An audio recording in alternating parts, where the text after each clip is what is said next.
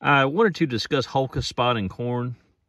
It is a bacterial infection that typically occurs before tassels, so a little bit earlier in the corn's life cycle. Again, it being a bacterial, there's not really anything that, that can be sprayed or applied to help alleviate it. Uh, but the good news is that generally the, there's not any yield impact. Um, lots of times it, it, can be confused with paraquat injury.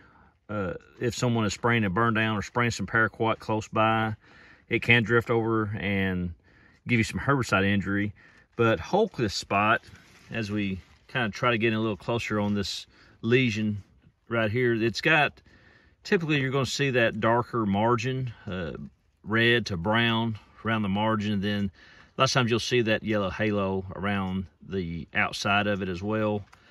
Uh, again, not really anything, any type of management you can do, uh, any type of product that can be sprayed to alleviate it.